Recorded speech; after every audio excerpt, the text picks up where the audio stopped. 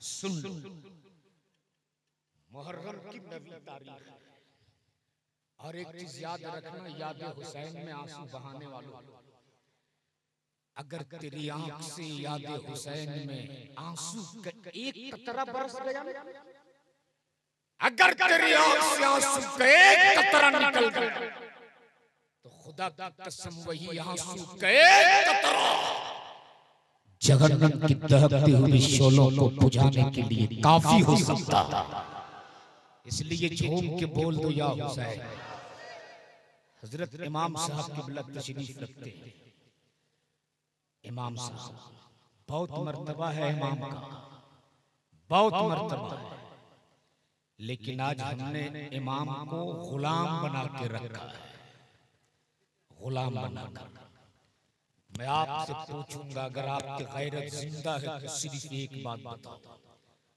आज आप इमामों को क्या तनख्वाह देते हाजी साहब, आज हमारी मस्जिद के अइम्मा की तनख्वाह कहीं छह हज़ार कहीं सात मैं आपसे पूछूँ, आज की इस महँगाई के दौर में छह हज़ार, सात हज़ार में किसी का घर चल सकता बोलो, चल सकता है? एक थर्ड क्लास का जो मजदूर होता है मैं समझता हूँ आज उसकी मजदूरी एक दिन के पाँच सौ रुपया है महीने का वो पंद्रह हज़ार कमाता है। जो इमाम तुझे नमाज़ भी पढ़ाए तेरे बच्चों को कुरान की तालीम भी दी तेरी मस्जिद में आजान भी दी। बाप मर जाए तो नमाज़ जनाजा भी यही इमाम पढ़ाए। जन्नत में पहुँचाने के लिए साल सवाब के लिए कुरान की तिलावत यही करे। तेरे घर मेहमान आ जाए तो मुर्गी भी जबर यही इमाम करे। सारा काम 24 घंटा जो तेरे लिए अपना वक्त निकालता है।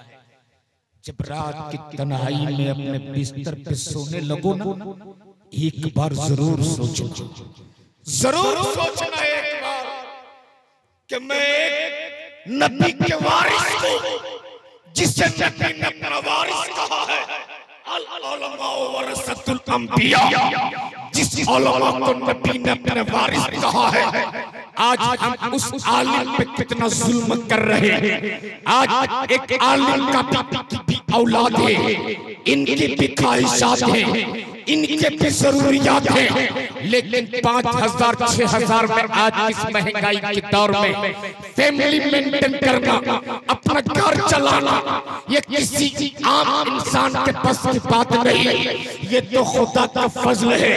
नबी ये कौन की अता है कि एक आलिम पाँच हज़ार और छह हज़ार पाकर भी ये मुस्कुराता रहता है और अल्लाह का शुक्र अदा करता रहता है।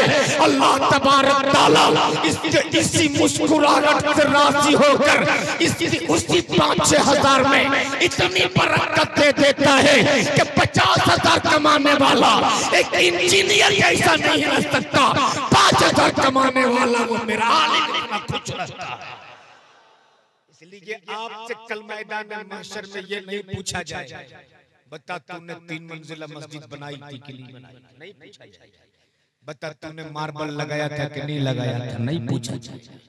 बता तेरी मस्जिद में टाइल्स लगी थी कि नहीं? नहीं नहीं पूछा जाए। कल पूछा ये जाएगा। तेरी मस्जिद में जो तुझको पाँचों वक्त नमाज़ पढ़ाती थी। कहीं तूने उसका दिल तो नहीं तोड़ दिया? कहीं तूने उससे तो तकलीफ़ नहीं पहुंचाई कहीं तूने उस पर तो जुल्म नहीं किया? खुदा की कसम अगर ये कल पूछ दिया गया तो कौन सा मुख लेकर तुम मुस्तफ़ा के बारगाह में जाओगे? इसलिए आज ही से आहद कर लो कि हम अपने इमाम को इतना दे देंगे इतना दे देंगे कि फिर वो किसी दूसरे तरफ़ अपनी निगाह उठाकर ना देखे। सारी जरूरियातों की हम पूरी करेंगे इंशाअल्लाह बोलो करोगे ना?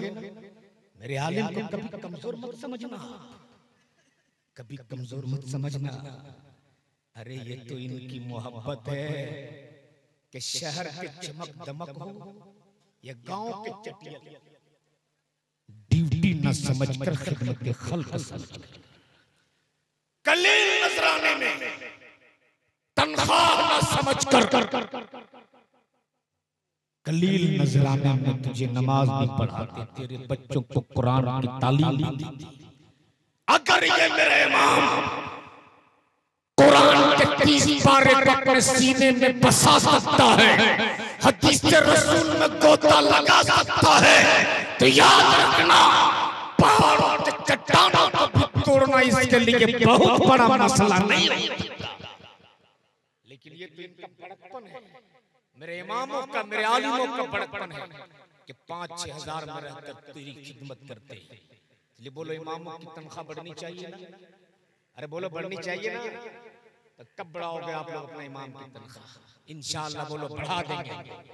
बोल दो इंशाल्लाह। अगर दूर बाहर से भी लोग आए हैं तो जाकर ये पैगाम देना। कि हर जगह इमामों की तनख्वाहें बढ़नी चाहिए। हर जगह बढ़ रही है। झूम के बोल दो एक बार या रसूल अल्लाह और मोहब्बत से एक बार या रसूल अल्लाह एक बार या हुसैन। मेरे पास वक्त बहुत कम है हाजी साहब। इसलिए यहाँ से कलकत्ते की दूरी लगभग साढ़े तीन सौ किलोमीटर है। और अपनी गाड़ी से लगभग आठ घंटे लगेंगे।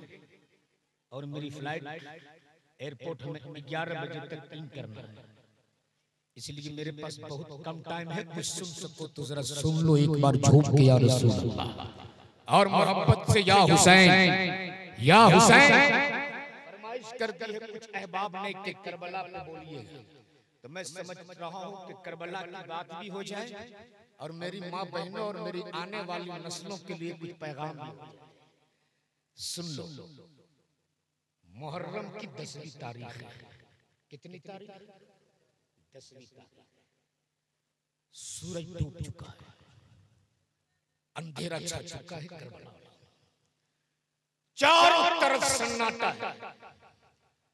चारों तरफ़। इस कदर सन्नाटा है करबला में कि हवा भी अगर तेज चले तो पत्तों की आहट सुनाई। सुन मेरे इमाम को मेरी माँ बहन में जरा तो चुप हो जाए लेकिन क्या कीजिएगा हाजी साहब? इनको तो हुकूमत नहीं चुप करा सकती तो भला एक मौलवी इसे क्या चुप करा सकता है? और ये मेरी माँ बहनें जलसा सुनने कम आती है ये जलसा करने ज़्यादा सही है कि गलत एक आदमी ने एक बादशाह ने इनाम रखा था हाजी साहब कि जो जितना बड़ा झूठ बोलेगा उसे उतना ही बड़ा इनाम मिलेगा। एक आदमी आया बोले हुजूर रोज़ाना सूरज पूरब से निकलता है पश्चिम में डूबता है आज मैंने सूरज को पश्चिम से निकलते देखा। बादशाह बोला ये बहुत बड़ा झूठ नहीं है मुमकिन हो सूरज पश्चिम से निकल जाए। एक आदमी आया दौड़ते हुए बोले अभी अभी मैंने मिल्की में देखा कि एक हाथी चड्डी पहन के घूम रहा बादशाह बोला ये भी झूठ बहुत बड़ा झूठ नहीं है मुमकिन हो कंपनी वाले इतनी बड़ी चड्डी बना दे।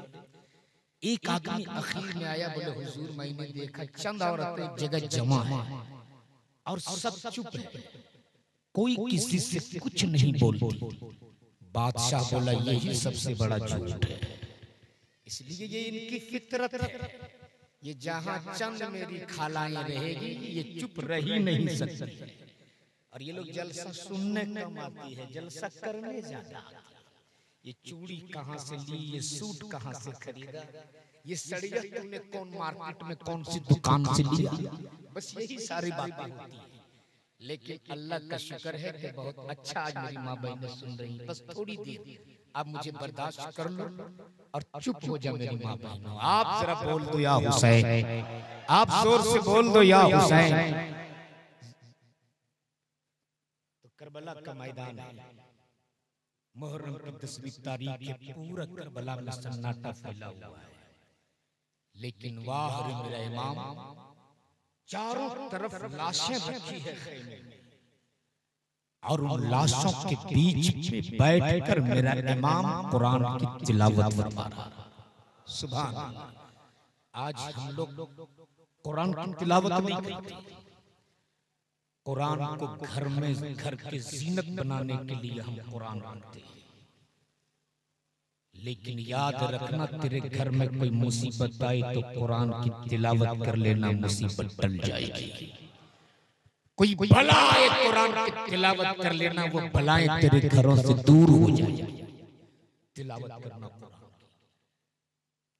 लाशों की अंबार लगी है खैमे में मेरा इमाम उन लाशों के बीच बैठकर कुरान की तिलावत फरमा रहे। हैं खैमे के बाहर एक साया हरकत करता हुआ नज़र और वो साया हरकत करते करते सीधे सैयदना इमाम हुसैन के खैमे में। जैसे ही साया इमाम पाक के खैमे में दाखिल हुआ मेरे इमाम ने कुरान बंद किया। होठों से लगाया। सर पे रखा। रहले पे डाला। डालने के बाद मेरा हुसैन उस आने वाले के इस्तेमाल के लिए खड़ी। उस आने वाले ने मेरे इमाम को सलाम किया। मेरे इमाम ने सलाम का जवाब दिया। और जवाब देने के बाद फरमाते बहन जैनब ए बहन जैनब चारों तरफ़ यजीदियों का पहरा है। रात इस वक्त तुम अपने खेमे से निकल कर क्यों आई क्यों आई हो जैनब? सैयदा जैनब कोई जवाब नहीं देती बस टिकटिकी बाँध कर हुसैन के चेहरे को देखे जाती। सैयदना हुसैन ने पाक फरमाते बहन जैनब इससे पहले भी तो तूने अपने भाई हुसैन को देखा है। इससे पहले भी तो तूने मक्का में हुसैन को देखा है। इससे पहले भी तो तूने हुसैन को मदीना में देखा है। ए बहन जैनब इससे पहले भी तेरे देखने का अंदाज ऐसा ना था। आज आँखों से तुम मेरे चेहरे को इस कदर क्यों देख रही हो? सैयदा जैनब बोल। पड़ी भाई हुसैन। मत रोक मत रोक हुसैन। आज अपनी बहन को जी भर कर भाई का चेहरा देख लेने दे। पता नहीं कल के बाद मैं अपने भाई का चेहरा देख पाऊँगी कि नहीं?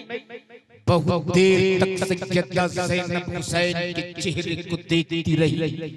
और देखते देखते देखते देखते सैयदा जैनब बोल पड़ी हुसैन तुम मेरे भाई हो तुम मेरे भाई हो हुसैन ने मुजतबा फरमाते बगैर जैनब की कैसी बातें करती हो?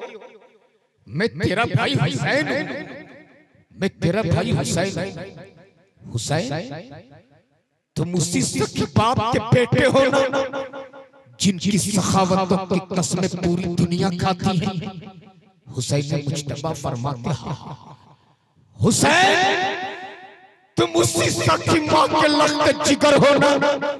जिसने पानी से सेहर कर लिया पानी से इफ्तार कर लिया और मांगने वाले को सामने की अता कर दी।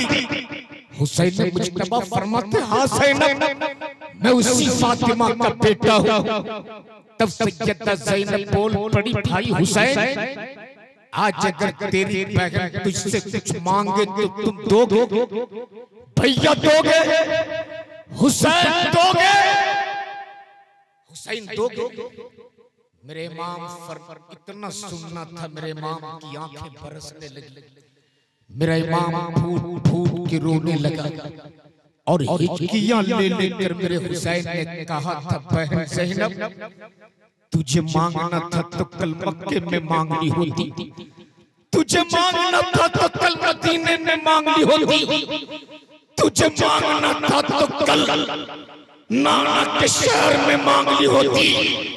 ए बहन जैनब, ये जमाना इम्तिहान ले ही रहा।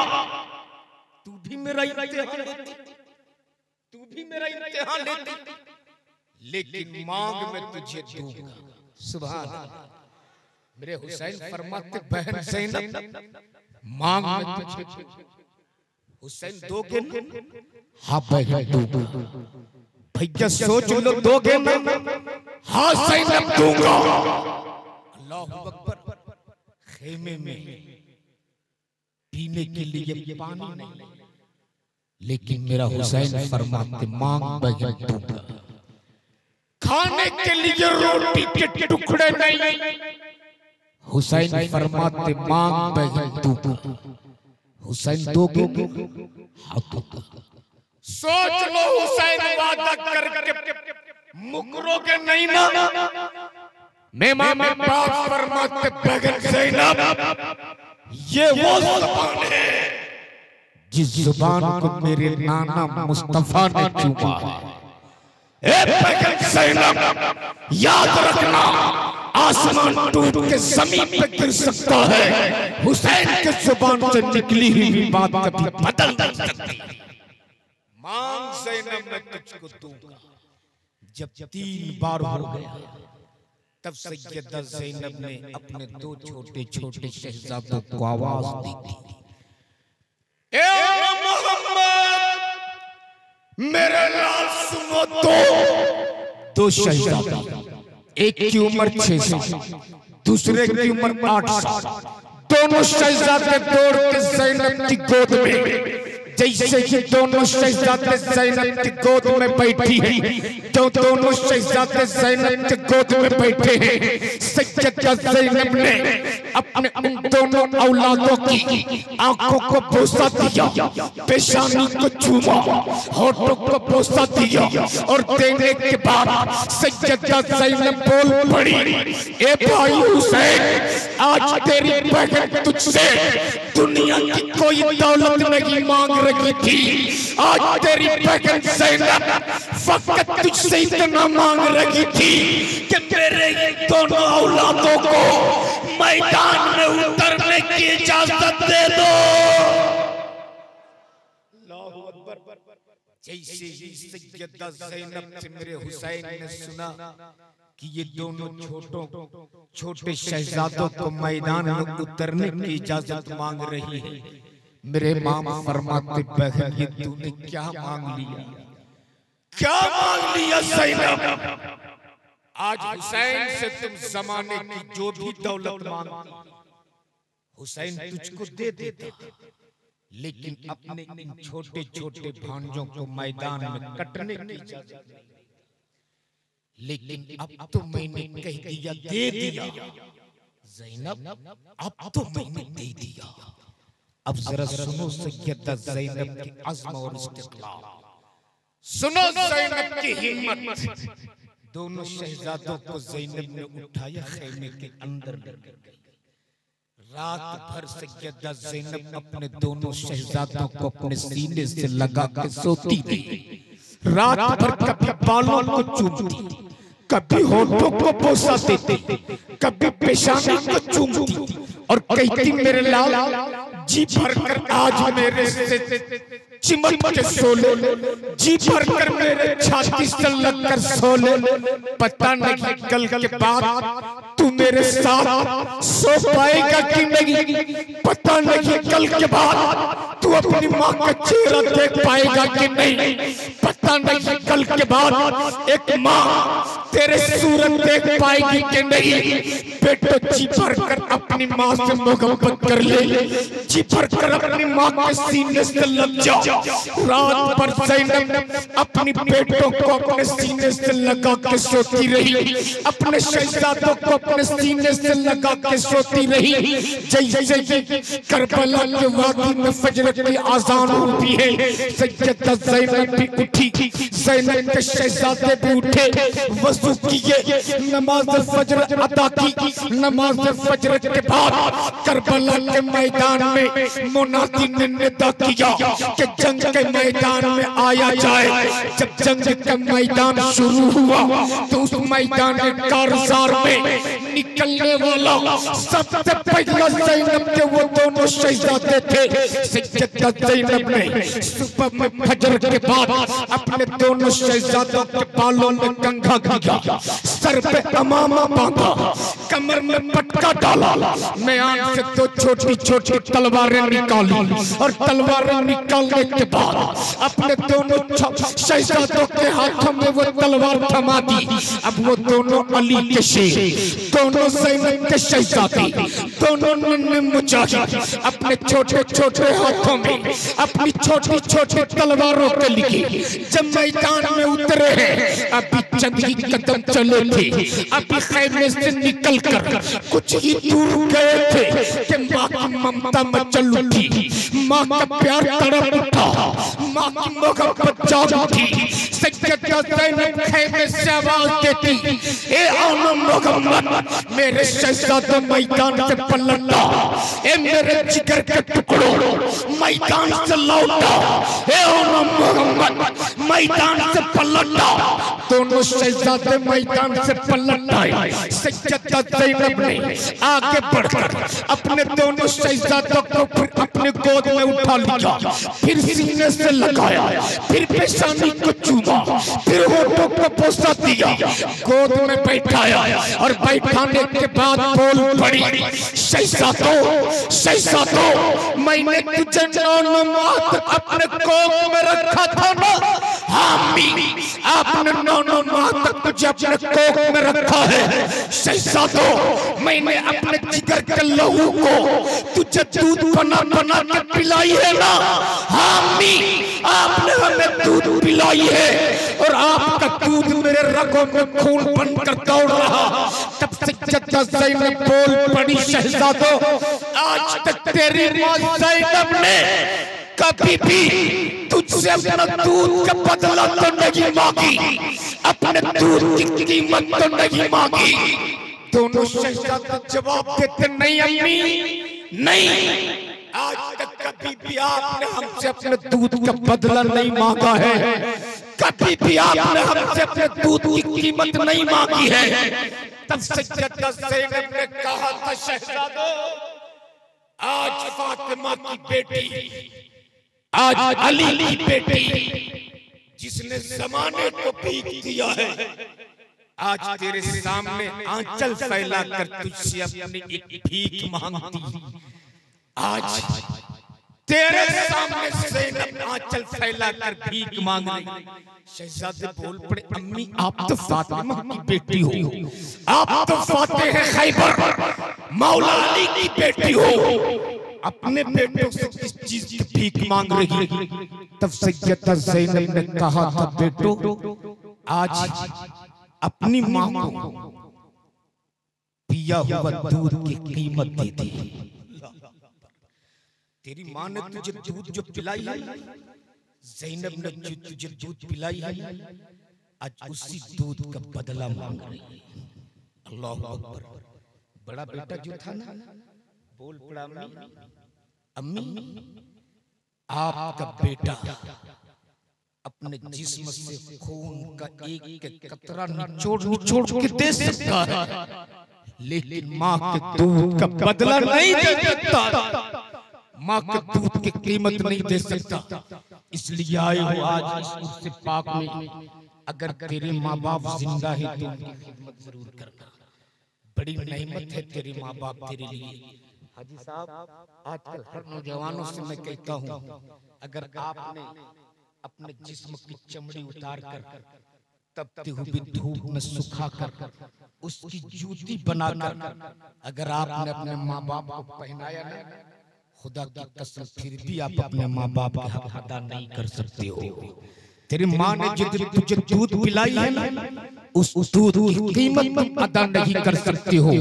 इसलिए नौजवानों अगर किसी मैदान में तुम नाकाम हो रहे हो और अगर कामयाबी चाहते हो तेरी माँ तेरे घर में ज़िंदा है तो आंचल पकड़ ले।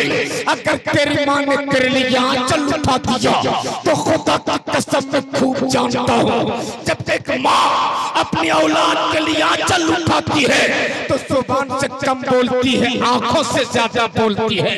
और जब की आँखें बरसने लगती है तो रब की रहमत भी झूमने लगती है।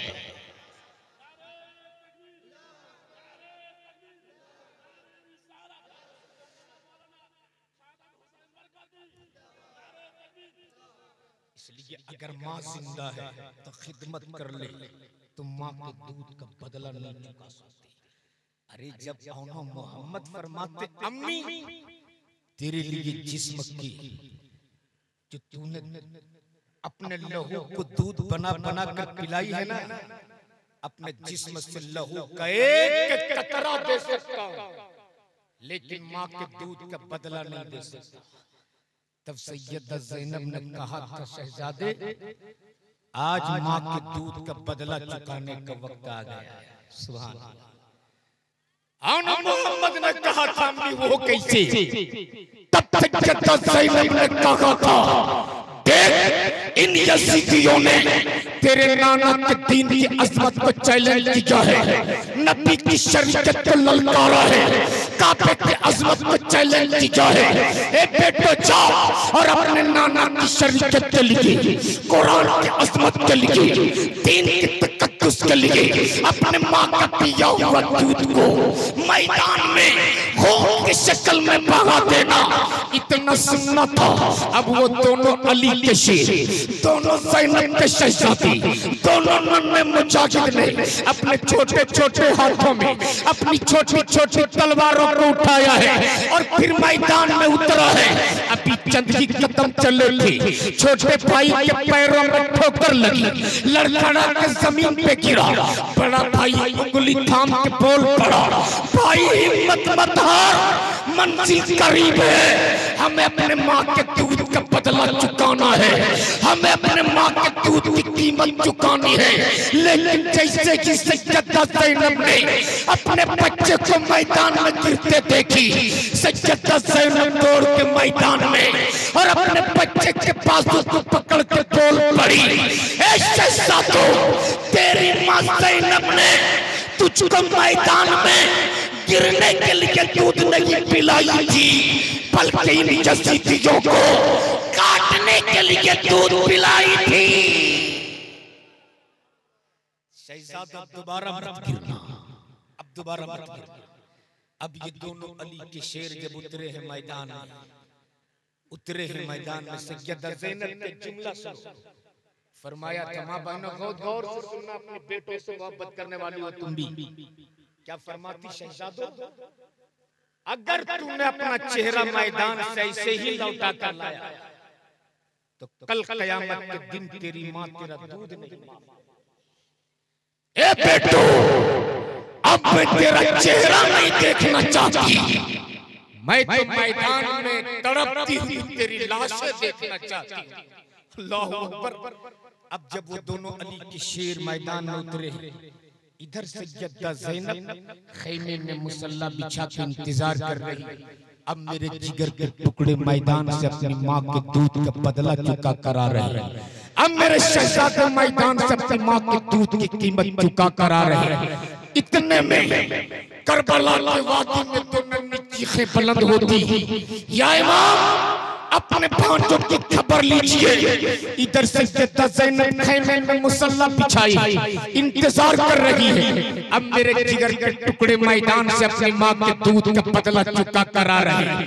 अब मेरे जिगर के टुकड़े मैदान से अपनी माँ के दूध की कीमत चुका करा रहे हैं। इतने में हुसैन मुजतबा ने तो छोटी छोटी लाश, एक दाहिने कांधे पर, एक बाएँ कांधे पर लेकर सैयदा जैनब के खैमे में दाखिल हुए इन यजीदियों ने न जाने उन नन्हे जिस्मों पर फूल जैसे बदन पर न जाने कितने घोड़े दौड़ाए थे कि जिस्म के हर हिस्से से खून के पीछे रिस रहे थे जिस्म के हर हिस्से पे बड़े बड़े कंकड़ चुपे थे मेरे हुसैन ने उन दोनों लाशों को जैनब की गोद में डाल दिया सैयदा जैनब ने अपने उन दोनों शहजादों की लाशों को अपनी गोद में रखा अपने आंचल के पल्लू से फूल जैसे बदन से खून साफ़ करती एक एक कंकर को बदन से निकालती। आज अगर मेरी माँ बहनों की गोद में उनके बच्चों की लाश रख दिया जाए तो माँ मारे गम के मातम कर लेती माँ मारे गम के सीना पीट लेती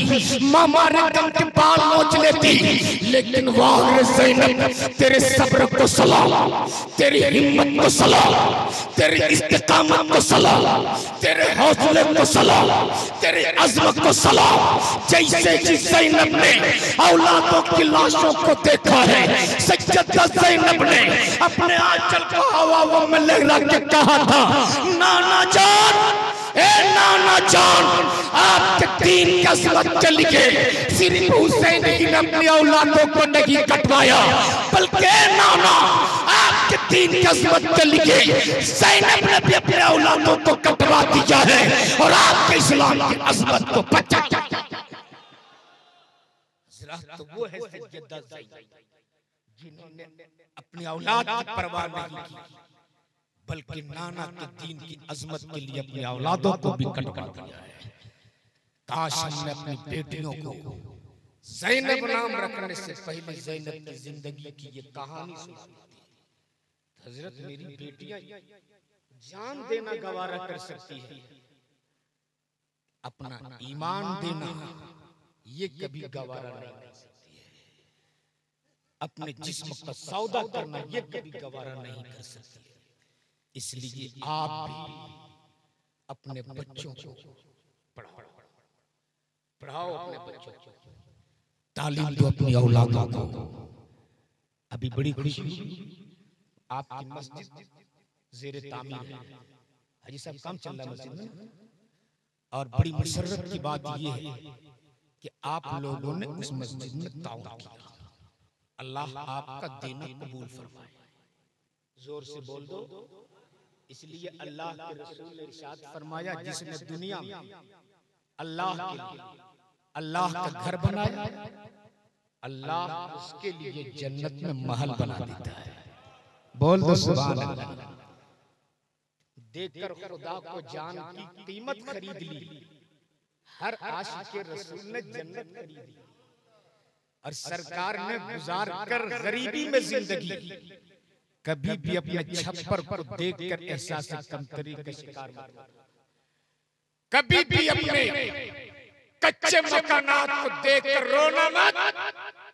इसलिए कि मेरे मुस्तफ़ा ने तेरे लिए मेरे नबी ने हम जैसे गरीबों के लिए मक्के की हवेली नहीं पसंद किया। पसंद किया तो हलीमा की झोपड़ी सरकार ने गुजार कर गरीबी में ज़िंदगी। उम्मत के हर गरीब की गुर्बत खरीद ली। इसलिए नबी ने फरमाया जिसने दुनिया में अल्लाह के लिए अल्लाह का घर बनाया अल्लाह उसके लिए बोलो जन्नत में महल बना देता है। सुभान अल्लाह। ये हदीस पाक। जब हारून रशीद ने कभी भी ये मत समझना कि मेरे पास दौलत नहीं है। मैं उस लायक नहीं हूँ तो अल्लाह मेरे लिए जन्नत में महल कैसे बनाएगा? सुन लो आज जब ये हदीस बादशाह हारून कि जिसने दुनिया में अल्लाह के लिए अल्लाह का घर बनाया अल्लाह उसके लिए जन्नत में महल बनाया तो उसने ऐलान किया बादशाह था कि मैं तनहा अल्लाह का घर बनाऊँगा क्या क्या तनहा अल्लाह का घर बनाऊँगा किसी का पैसा नहीं लगना ऐलान कर दिया बादशाह ने अकेले अल्लाह का घर बनाऊँगा उसकी सल्तनत में रहने वाले कुछ गरीब लोग भी थे। एक लकड़हारा था। जिनकी गुर्बत का आलम ये था कि दिन भर जंगल में लकड़ियाँ काटता था शहर में लाकर बेचता था तब उसके घर में चूल्हा जलती थी। जिस दिन वो लकड़ियाँ नहीं काट पाता उस दिन अपने बच्चों को वो भूखा पेट सुलाता था। जब बादशाह हारून रशीद ने ये ऐलान किया मैं तनहा अल्लाह का घर बनाऊँगा। उस गरीब का दिल टूट गया। वो गरीब सोचने लगा काश मेरे पास भी दौलत होती मैं भी जन्नत अल्लाह के अल्लाह मैं भी अल्लाह, मैं भी मैदान महशर में। अल्लाह मेरे लिए भी जन्नत का महल बनाता। मैं तो गरीब आदमी हूँ। मैं तो मजदूर आदमी हूँ। मैं तो मोहताज आदमी हूँ। मैं अल्लाह का घर नहीं बना सकता। हारून रशीद ने ऐलान किया, तनहा मस्जिद बनाऊँगा। एक गरीब का दिल टूट गया। रात बिस्तर पे सोया। नींद नहीं आ रही। इतने में मस्जिद के मिनारे से आजान की आवाज़ आई। मजदूर नमाज़ फजर अदा करने गया। जब नमाज़ फजर अदा की, घर वापस आया, जहन में एक तदबीर आई। रोज़ाना वो जंगल जाता था, लकड़ियाँ काटने वाला सामान को लेकर। आज वो लकड़ी काटने वाला सामान नहीं लिया है। आज वो मिट्टी काटने वाला सामान लेकर जंगल पहुँचा है। जंगल में उसने मिट्टी काटी। मिट्टी काटने के बाद उसने ईंट तैयार किया। ईंट जब तैयार हो गई, तब उसने उस ईंटों को लकड़ियों में पकाया।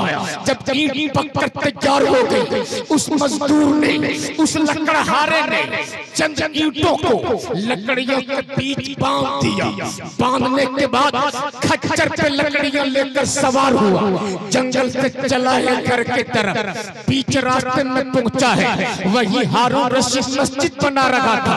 वही हारून रशीद अल्लाह का घर बना रहा था। जब वो लकड़हारा लकड़ियाँ और ईंट लेकर चला है। जहाँ हारून रशीद ने ईंटें रखी थी, वहाँ पहुँचने के बाद उस लकड़हारे ने खच्चर को लात मारी, खच्चर ज़मीन पे गिरा, लकड़ियाँ गिरी। लकड़ियों के अंदर जो चंद ईंटें रखी थी, ईंटें भी गिर गई। जल्दी से उस मजदूर ने उन ईंटों को हारून रशीद के ईंटों में मिला दिया। ईंटों में मिलाने के बाद अभी खड़ा ही हुआ था। चंद सिपाही दौड़ कर आ गए। सहारा देकर उठाया। उठाने के बाद कहा, कहीं तुझे चोट तो नहीं लग गई? उस मजदूर ने कहा था चोट तो दिल में पहले लगी थी। अब मैंने उस चोट पे मरहम रख दिया है। अब मैंने उस चोट पे मरहम लगा दिया है। अब मेरे जख्म में मरहम लग चुके हैं। वो लकड़हारा अपनी ईंटों को मिलाने के बाद घर वापस चला जाता है। हारून रशीद ने अल्लाह के घर की तामीर मुकम्मल कर ली। मस्जिद तैयार हो गई। नमाज़ उसमें लोग पढ़ने लगे। एक रात हारून रशीद अपने बिस्तर पे सोता है। ख्वाब में क्या देखता? मैदान महशर कायम है। लोग अपने अपने अमाल के मुताबिक मैदान महशर में नफसी नफसी के आलम में है। हारून रशीद चलते चलते एक महल के करीब पहुँचे हैं, जिस महल पे बादशाह हारून रशीद का नाम लिखा है। उसी महल के ठीक बाजू में एक और उसी तर्ज का महल बना हुआ है, जिस महल में उस लकड़हारे का नाम लिखा है, उस मजदूर का नाम लिखा है, जैसे कि हारून रशीद की आँख खुली, उसी वक्त फ़ौरन दरबार को बुलाया गया, और दरबार कायम करने के बाद चंद सिपाहियों को बुलाया और बुलाने के बाद कहा, जा, उस लकड़हारे को लाकर मेरी बारगाह में पेश किया जाए। उस लकड़हारे को मेरी बारगाह में लाया जाए। रात किसी वक्त शरीफ इंसान के घर अगर कोई पुलिस वाला पहुँच जाए तो उस गरीब और मज़बूत इंसान की हालत कैसे होती है? वो लकड़हारा दिन भर जंगल में लकड़ियाँ काटा था। जब जब शहर में बेचने के बाद खा पी कर अपने बिस्तर पे सोया था। अचानक हारून रशीद के सिपाहियों ने दरवाजे पे दस्तक दिया। उस लकड़हारे ने दरवाज़ा खोला। देखा कि सिपाही मौजूद हैं। उसके बदन कांपने लगे। जिस्म थर्राने लगे। या अल्लाह, मुझसे कौन ऐसा जुर्म हो गया? कि रात के इस वक्त हारून रशीद के सिपाही मेरे घर आए। हारून रशीद के सिपाही मुझको लेने के लिए आ गए। उस लकड़हारे ने कहा, बता, इतनी रात तू आया है। उन, उन, उन सिपाहियों ने कहा था चल तुझे बादशाह हारून रशीद ने बुलाया है। जब वो लकड़हारा हारून रशीद की बारगाह में पहुँचा है नमाज़ फजर से पहले हारून रशीद का दरबार कायम है। ये लरसते कदमों से चला है थर्राते पैरों से चला है डगमगाते कदमों से जैसे ही हारून रशीद के दरबार में पहुँचा है। हारून रशीद ने उससे अपने करीब बुलाया और बुलाने के बाद कहा आज मैं तुझसे एक सवाल पूछूँगा। ईमान से बताना, ईमान से बताना। आज मैंने ख्वाब में देखा कि मैंने अल्लाह के लिए अल्लाह का घर बनाया। अल्लाह ने मेरे लिए जन्नत में महल बना दिया है। तूने कौन ऐसा काम किया है? तूने कौन ऐसा अमल किया है? तूने कौन ऐसा काम किया है कि तेरे लिए भी अल्लाह ने उसी तरह के जन्नत में महल बना दिया? पता तेरा कौन ऐसा अमल है? लकड़हारा कांपने लगा और कांपते हुए कहा, हुजूर, अगर मेरी ज़िंदगी की अमान दी जाए तो मैं बताऊँगा, हारून रशीद ने कहा जा मैं तुझे तेरी ज़िंदगी की अमान देता हूँ। तब उस लकड़हारे ने कहा था हुजूर, जब आपने तनहा मस्जिद बनाने का ऐलान किया था, आपने ये नहीं सोचा था कि इसी महल्ले में गरीब भी रहता है, इसी महल्ले में मजदूर भी रहता है, इसी महल्ले में मजबूर भी रहता है। आपने हम लोगों का ख्याल नहीं किया। मेरा दिल टूट गया था। मैं भी सोचता था, मेरे लिए भी अल्लाह जन्नत में महल बनाए। लेकिन अल्लाह ने मुझको गरीब पैदा किया। मैं तनहा मस्जिद नहीं बना सकता था। इसलिए मैंने जंगल में चंद ईंटें तैयार की और उस चंद ईंटों को मैंने आपकी ईंटों में मिला दिया। रब का फजल इतना बड़ा हुआ क्या आपने तनहा मस्जिद बनाई। अल्लाह ने आपके लिए जन्नत में महल बनाया। मेरी चंद ईंटें लग गई। अल्लाह ने मेरे लिए भी जन्नत में महल इसलिए खुदा की कसम, आज आप जन्नत खरीद रहे हो। आज आपने जन्नत खरीदी है। तो मैं चाहता हूँ सब लोगों ने दिया है। कोई एक ऐसा हुसैन, मैं चाहता हूँ। एक ऐसा कोई हुसैन का गुलाम रात के इस वक्त जो वक्त दुआओं की मकबूलियत की घड़ी है। एक ऐसा हुसैन का गुलाम अपने माँ बाप के नाम पर सरकार गौसे आज़म का सदका लेकर ग्यारह सौ रुपया इस मस्जिद के लिए है कोई?